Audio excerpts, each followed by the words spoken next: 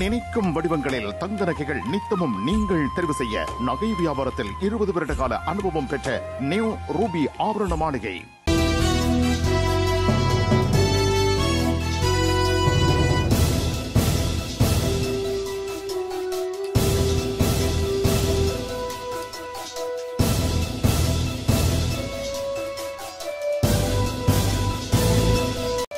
வெள்ளைவான் சம்பவத்துடன் தொடர்புடைய சந்தேக நபர்களுக்கு தொடர்ந்து விளக்கமறியல் பல்கலைக்கழகம் ஒன்றுக்குள் திடீரென நுழைந்த ஜனாதிபதி கோட்டபாய.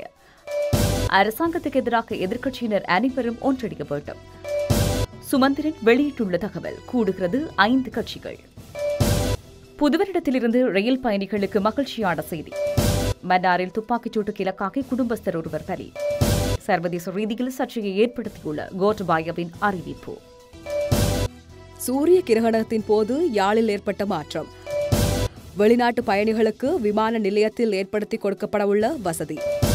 சாரதி அனுமதி பத்திரத்துக்கான மருத்துவ சான்றிதழை பெறுபவர்களுக்காக அறிமுகமாகும் புதிய வசதி. ராஜித சேனா கைது.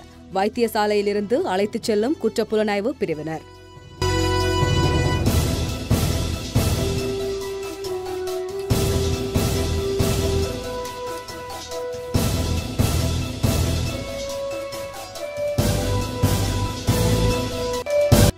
முன்னாள் அமைச்சர் ராஜித சேனாரத்னவுடன் இணைந்து வெள்ளைவேன் தொடர்பான செய்தியாளர் சந்திப்பை நடத்திய இரண்டு சந்தேக நபர்கள் தொடர்ந்தும் ஜனவரி ஆறாம் தேதி வரை விளக்கமறியலில் வைக்கப்பட்டுள்ளனர். கொழும்பு பிரதான நீதவான் லங்கா ஜெயரத்ன சந்தேக நபர்களை தொடர்ந்து விளக்கமறியலில் வைக்குமாறு இன்று உத்தரவிட்டுள்ளார். சரத்குமார் மற்றும் சஞ்சீவ் பாதநாயக்க ஆகிய சந்தேக நபர்களே இவ்வாறு விளக்கமறியலில் வைக்கப்பட்டுள்ளனர். சர்ச்சைக்குரிய வெள்ளைவேன் தொடர்பான செய்தியாளர் சந்திப்பு தொடர்பாக இவர்களை குற்றவியல் விசாரணை திணைக்களம் அண்மையில் கைது செய்து நீதிமன்றில் ஆஜர்படுத்தியதுடன் அவர்களை இன்று வரை விளக்கமறியலில் வைக்குமாறு நீதிமன்றம் உத்தரவிட்டிருந்தது. இந்த வழக்கு இன்று விசாரணைக்கு எடுக்கப்பட்டதுடன் சந்தேக நபர்கள் மன்றில் ஆஜர்படுத்தப்பட்டிருந்தனர். ஜனாதிபதி கோட்டபய ராஜபக்ஷ நேற்று கொத்தலாவல பாதுகாப்பு பல்கலைக்கழக போதனா வைத்தியசாலைக்கு திடீர் விஜயம் மேற்கொண்டுள்ளார். அங்குள்ள அனைத்து சிகிச்சை மையங்கள் மற்றும் சத்திர சிகிச்சை கூடங்களையும் ஜனாதிபதி பரிசோதனை செய்துள்ளார். வைத்தியசாலை ஊழியர் சபையுடன் மேற்கொண்ட கலந்துரையாடலின் போது அங்குள்ள குறை நிறைகள் தொடர்பில் ஆராயப்பட்டுள்ளது. அறுபத்தி எட்டு வைத்தியர்கள் தேவையாக உள்ள நிலையில் இருபது சாதாரண வைத்தியர்களே தங்கள் கடமைகளை செய்வதாக முறைப்பாடு செய்யப்பட்டது. இதன்போது போதனா வைத்தியசாலை முழுமையாக இயங்கும் வகையில் அங்குள்ள அனைத்து குறைபாடுகளையும் விரைவாக தீர்த்து வைக்குமாறு ஜனாதிபதி வலியுறுத்தியுள்ளார். வலுவான எதிர்க்கட்சியை உருவாக்க எதிர்க்கட்சியில் உள்ள அனைத்து தரப்பினரும் ஒன்றிணைக்க வேண்டும் என ஐக்கிய தேசிய கட்சியின் பொதுச் செயலாளரான முன்னாள் அமைச்சர் அகிலம் ராஜ் காரியவசம் தெரிவித்துள்ளார். எதிர்க்கட்சியின் மிகப்பெரிய பாத்திரத்தை ஐக்கிய தேசிய கட்சியால் நிறைவேற்ற முடியாது என மக்கள் விடுதலை முன்னணியின் அனுரகுமார் திசாநாயக்க நேற்றைய தினம் தெரிவித்தவை குறித்து பதிலளிக்கும் போதே அகிலம் ராஜ் காரியவசம் இதனை குறிப்பிட்டுள்ளார். மேலும் கூறுகையில் அரசாங்கத்துக்கு எதிராக எதிர்க்கட்சியில் உள்ள அனைத்து தரப்பினரும் ஒன்றிணைந்து வலுவான எதிரணியை உருவாக்க வேண்டும். அதேவேளை ஐக்கிய தேசிய கட்சிக்குள் எந்த பிரச்சனைகளும் இல்லை அப்படியான பிரச்சனைகள் இருந்தால் அதனை கட்சிக்குள் பேசி தீர்த்துக் கொள்வதாக கூறியுள்ளார். தமிழ் தேசிய கூட்டமைப்பில் அங்கம் வகிக்கும் கட்சிகளின் தலைவர்களுக்கு இடையிலான கலந்துரையாடல் இடம்பெறவுள்ளதாக நாடாளுமன்ற உறுப்பினரும் அக்கட்சியின் ஊடக பேச்சாளருமான எம். ஏ. சுமந்திரன் தெரிவித்துள்ளார். யாழ்ப்பாணத்தில் உள்ள இலங்கை தமிழரசுக் கட்சியின் அலுவலகத்தில் இக்கலந்துரையாடல் இன்று மாலை ஐந்து மணியளவில் இடம்பெறவுள்ளதாகவும் அவர் அறிவித்துள்ளார். இதன்போது சமகால அரசியல் நகர்வுகள் தொடர்பிலும் அடுத்து வரவுள்ள பொதுத் தேர்தல் தொடர்பிலும் ஆராயப்படவுள்ளதாக தகவல் அறிந்த வட்டாரங்கள் தெரிவித்துள்ளன. அடுத்த வருடத்தில் இருந்து ரயில் சேவையை நவீனமயப்படுத்த நடவடிக்கை எடுக்கப்பட்டுள்ளதாக ரயில்வே ராஜாங்க அமைச்சர் சி வி ரத்நாயக்க தெரிவித்துள்ளார். இதன்படி சீனாவில் இருந்தும் இந்தியாவில் இருந்தும் நவீன ரக ரயில் பெட்டிகள் இறக்குமதி செய்யப்படவுள்ளன சீனாவில் இருந்து ஆறு நவீன ரக ரயில் பெட்டிகள் அடங்கிய தொகுதியும் இந்தியாவில் இருந்து இரண்டு ரயில் பெட்டிகள் அடங்கிய தொகுதியும் இறக்குமதி செய்யப்படவுள்ளன எதிர்வரும் ஜனவரி மாதம் நான்கு ரயில் பெட்டிகள் அடங்கிய தொகுதிகள் இலங்கையை வந்தடைய உள்ளதாகவும் இது மக்களின் போக்குவரத்துக்காக உடனடியாகவே பயன்பாட்டுக்கு விடப்படும் எனவும் அவர் தெரிவித்தார். மன்னார் உயிலங்குளம் பகுதியில் நேற்று இரவு அடையாளம் தெரியாத நபர்களால் துப்பாக்கிச் சூடு நடத்தப்பட்டுள்ளது. இதன்போது துப்பாக்கிச் சூட்டுக்கு இலக்காகி குடும்பஸ்தர் ஒருவர் உயிரிழந்துள்ளார். குறித்த குடும்பஸ்தர் மனைவி பிள்ளைகளை பிரிந்து வாழ்ந்து வந்த நிலையில் உயிலங்குளம் சிறுநீலாசனை பகுதியில் தனிமையில் தங்கியிருந்து கூலித் தொழிலில் ஈடுபட்டு வந்துள்ளார். இந்நிலையில் அவர் தங்கியிருந்த வீட்டுக்கு முன்பாக இந்த துப்பாக்கிச் சூடு மேற்கொள்ளப்பட்டுள்ளது.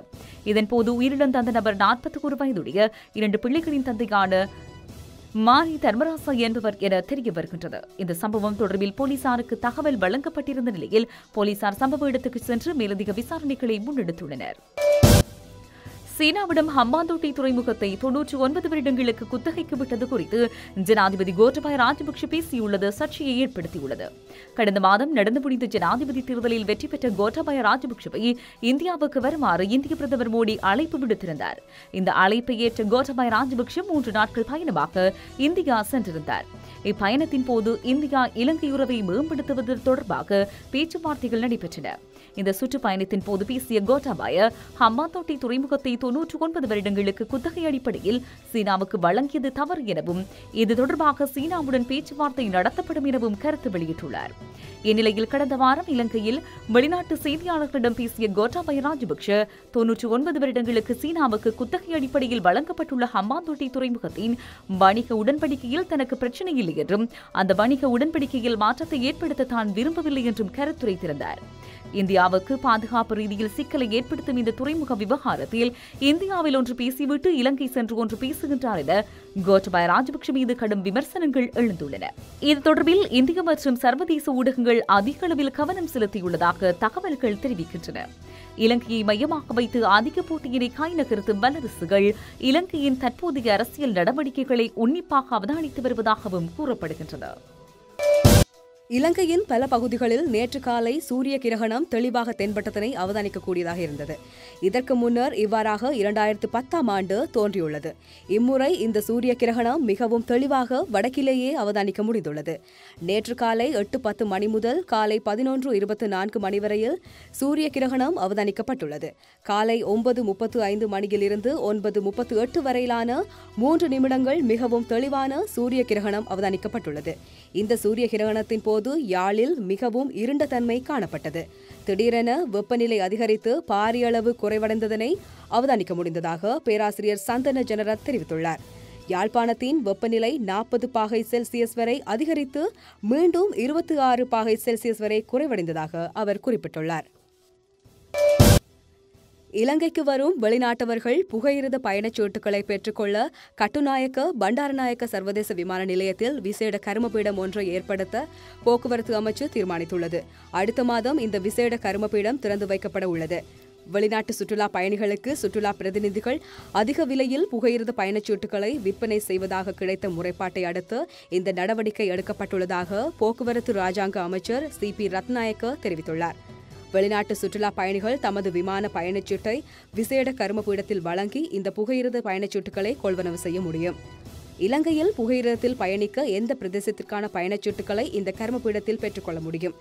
அதேவேளை கட்டுநாயக்கா விமான நிலையத்திலிருந்து கொழும்பு கோட்டை வரை புகையிரத சேவைகளை அதிகரிப்பது குறித்து போக்குவரத்து அமைச்சு கவனம் செலுத்தியுள்ளது. சாரதி அனுமதி பத்திரத்துக்கான மருத்துவ சான்றிதழை பெற வருபவர்களை கருத்தில் கொண்டு புதிய நடைமுறையொன்று அறிமுகப்படுத்த உள்ளது அந்த வகையில் குறித்த சேவையை துரித கதியில் பெற்றுக் கொடுப்பதற்காக ஃபாஸ்ட் ட்ராக்கிங் சிஸ்டம் ஆரம்பிக்குமாறு அமைச்சர் மஹிந்த அமரவீர பணிப்புரை விடுத்துள்ளார். நுகேகொடையிலுள்ள போக்குவரத்து மருத்துவ நிறுவனத்திற்கு நேற்று காலை அமைச்சர் நேரில் சென்று அங்குள்ள நிலைமைகளை நேரில் பார்த்துள்ளார். அந்த போக்குவரத்து மருத்துவ நிலையத்திற்கு முன்பாக மருத்துவ சான்றிதழை பெற்றுக்கொள்ள வருபவர்கள் காலை முதல் நீண்ட வரிசைகளில் காத்திருப்பதை அவதானித்த பின்னரே ஃபாஸ்ட் ட்ராக்கிங் சிஸ்டம் ஆரம்பிப்பது தொடர்பான பணிப்புரை வழங்கப்பட்டுள்ளது. அத்துடன் சாரதி அனுமதி பத்திரத்துக்கான மருத்துவ சான்றிதழை பெறுவதற்காக நாள்தோறும் சுமார் எண்ணூறு பேர் வரையில் நுகேகுடையிலுள்ள மருத்துவ நிலையத்திற்கு வருகை தருவதாகவும் அவர்களுக்கு சிறப்பான சேவையை பெற்றுக் கொடுக்க வேண்டுமென்றும் அமைச்சர் இதன்போது குறிப்பிட்டுள்ளார். நாடாளுமன்ற உறுப்பினர் ராஜித சேனாரட்ன குற்ற புலனாய்வு அதிகாரிகளினால் கைது செய்யப்பட்டுள்ளார். நரகேன்பிட்ட தனியார் வைத்தியசாலையில் அனுமதிக்கப்பட்டிருந்த நிலையில் குற்ற புலனாய்வு அதிகாரிகளால் அவர் கைது செய்யப்பட்டுள்ளார். எனினும் வைத்தியர்களின் ஆலோசனைக்கு அமைய ராஜித தொடர்ந்து அந்த வைத்தியசாலையின் அவசர சிகிச்சை பிரிவில் சிகிச்சை பெற்று வருகிறார். அத்துடன் அவர் சிகிச்சை பெறும் வைத்தியசாலைக்கு போலீஸ் பாதுகாப்பு வழங்கப்பட்டுள்ளது. பிந்திய தகவலின்படி ராஜித சேனாரட்ன கைது செய்யப்பட்டு வைத்தியசாலையிலிருந்து அழைத்துச் செல்லப்பட்டுள்ளார். வெள்ளைவான் கடத்தல் தொடர்பில் போலியான தகவல்களை வெளியிட்டார் என்ற குற்றச்சாட்டின் கீழ் ராஜித கைது செய்யப்பட்டுள்ளார். கடந்த இருபத்தி நான்காம் திகதி அவரை கைது செய்யுமாறு கொழும்பு மேஜிஸ்ட்ரேட் நீதிமன்றம் பிடியாணை பிறப்பித்திருந்தமை குறிப்பிடத்தக்கது.